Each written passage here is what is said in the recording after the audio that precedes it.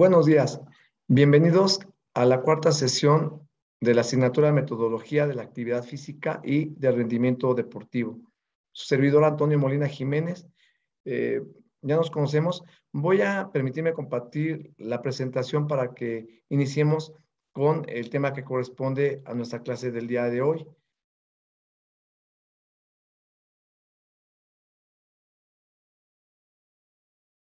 Bien.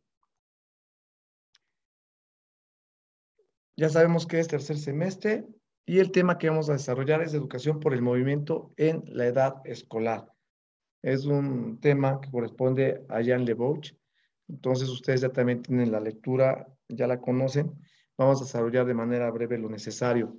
Acá dice como meta comprender la educación por el movimiento en la edad escolar, las bases metodológicas y la concepción psicomotriz del aprendizaje motor mediante el deporte educativo. Esa es la temática. Educación por el movimiento en la edad escolar, el método psicocinético, aspectos específicos del método psicocinético, considerado como educación básica, y el plan de trabajo propuesto para el programa de niños de 6 a 12 años y cómo se organizarían las sesiones del trabajo. Esto es muy importante que comencemos por conocer a qué se refiere lo que es método psicocinético. Se trata de un método general de educación que como medio pedagógico utiliza el movimiento humano en todas sus formas. Entonces podemos ver que precisamente eh, este método tiene fundamentos pedagógicos. Es un método que implica una filosofía de la educación. El objetivo de nosotros como educadores va a buscar eh, desarrollar y lograr que el hombre o los niños, en ese caso, se puedan ubicar, actuar en el mundo que tiene constantes transformaciones de este medio. Entonces vamos, vamos a buscar que tengan mejor conocimiento y aceptación de sí mismos, mejor ajuste de su conducta, una auténtica autonomía y acceso a responsabilidades en el marco de lo que es la vida social. Asimismo, eh, la psicocinética es un método de pedagogía activa. ¿Por qué? Eh, esta educación va a permitir aprendizajes de conocimientos, habilidades y determinadas conductas sociales. Pero eh, en ese sentido, también hay una distinción entre el aprendizaje y la formación. Y acá tenemos que ver que la formación va a implicar desarrollar capacidades, modificar actitudes personales y la integración grupal. Entonces, la educación física va a permitir aprendizajes de gestos, de problemas que van a permitir la transferencia de lo que son resoluciones de problemas.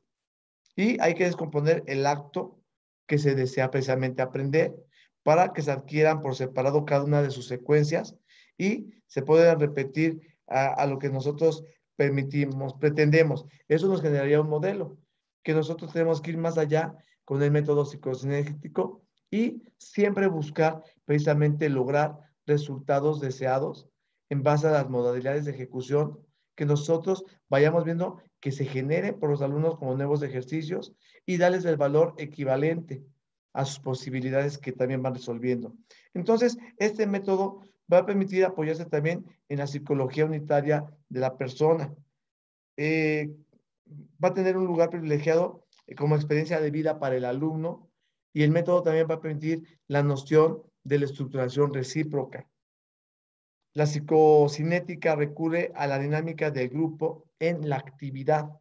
Entonces, eso es muy importante, eh, lo que es la actividad dentro de lo que sería el grupo que se está desarrollando. Y algunos ejercicios serán vívidos como experiencias individuales en el seno de ese grupo. Y además otros ejercicios van a eh, proponer tareas colectivas.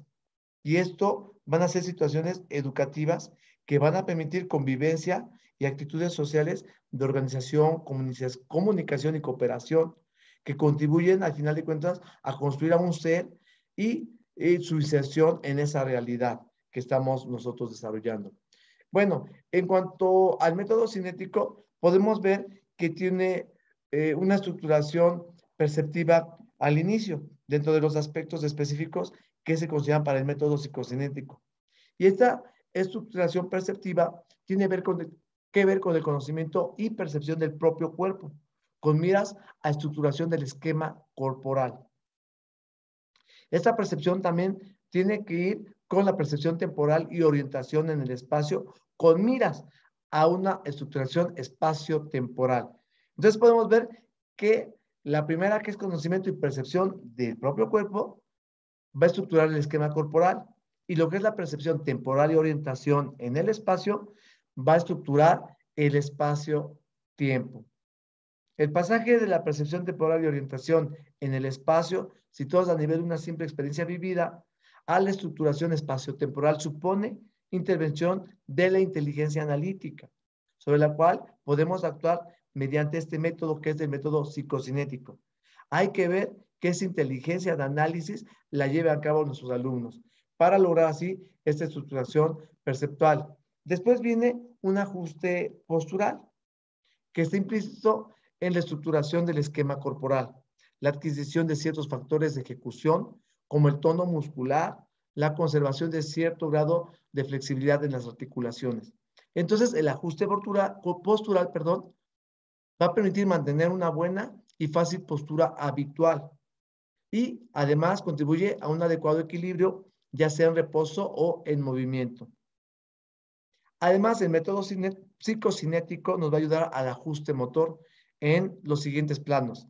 El de la habilidad manual, que tiene que ver con destrezas de la mano, y la coordinación ojo-mano, visomanual, manual la coordinación motriz general, que es muy importante porque partiendo de esta coordinación motriz general se logran aspectos eh, que tienen que ver con la cognición y con aspectos específicos de la coordinación fina y del aprendizaje de praxis, que ponen en juego la capacidad de coordinación y simultáneamente con el dominio de ciertos factores que se ejecutan como lo que es la fuerza muscular. Entonces, este término de praxis en el ajuste motor tiene que ver con experiencias de vida. Entonces, las experiencias son muy importantes para que se logren los ajustes motores. Eh, acá hay que cuidar mucho lo que serían también las exigencias de representación mental para que se genere un esquema motor.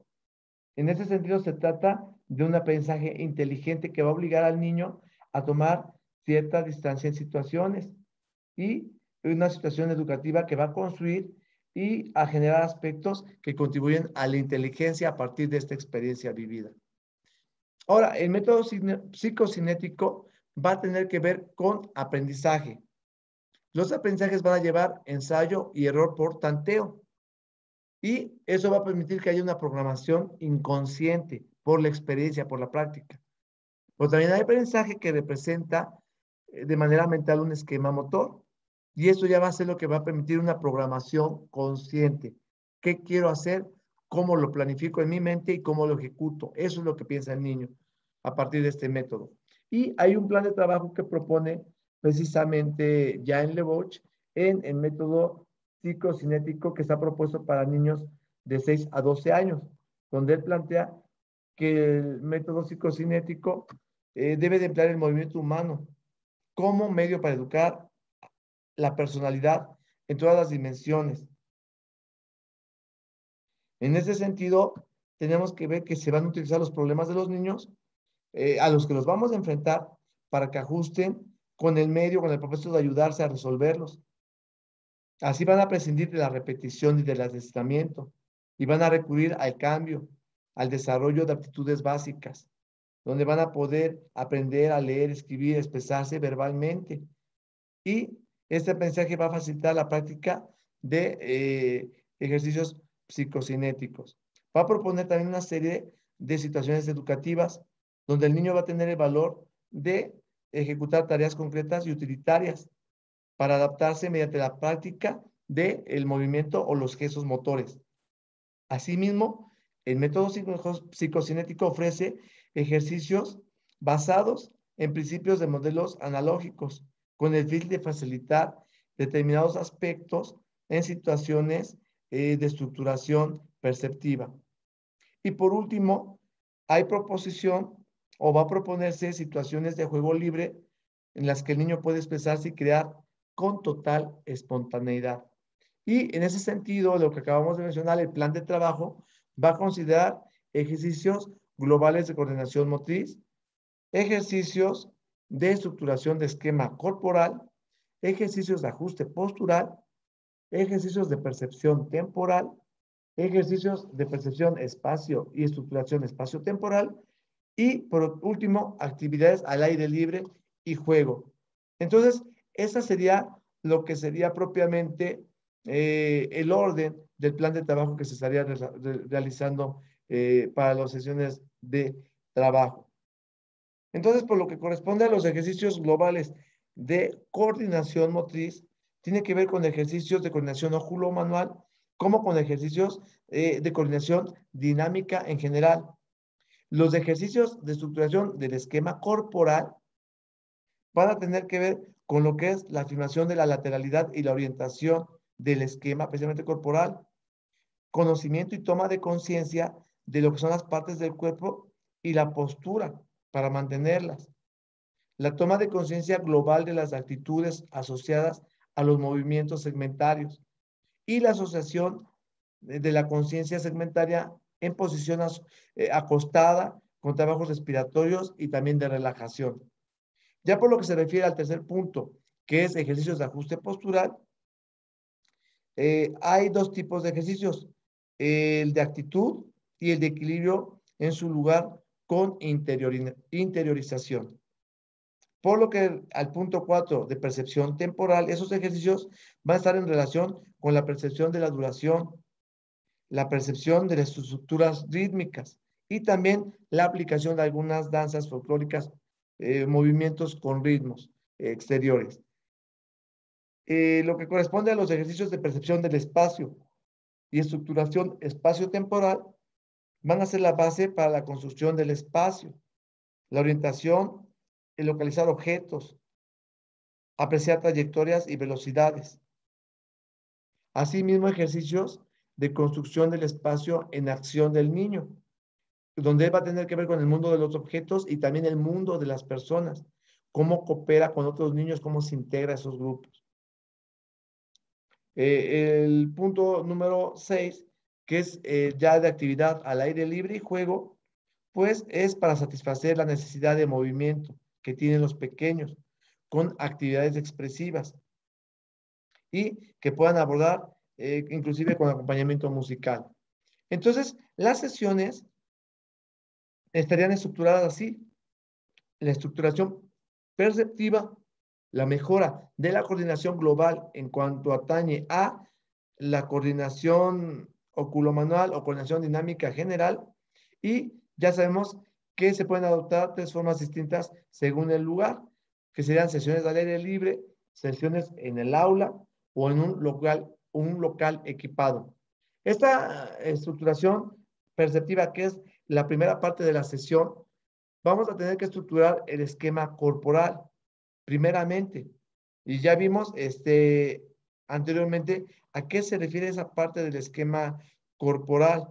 Entonces, eh, ese esquema eh, corporal va a estar relacionado precisamente con la afirmación de su lateralidad, de su orientación y eh, también tiene que ver con el conocimiento y toma de conciencia de sus partes del cuerpo y de su postura. Ahora, la estructuración espacio temporal su nombre lo dice. Tiene que ver con eso que corresponde a percepción del tiempo y la percepción de estructuración del espacio. La segunda parte de la sesión estaría mejorando la coordinación global en cuanto a su coordinación oculo-manual y la coordinación de dinámica general con actividades como lo que son saltos, agilidad, equilibrios, lanzamientos, lanzamientos, trepar, etc.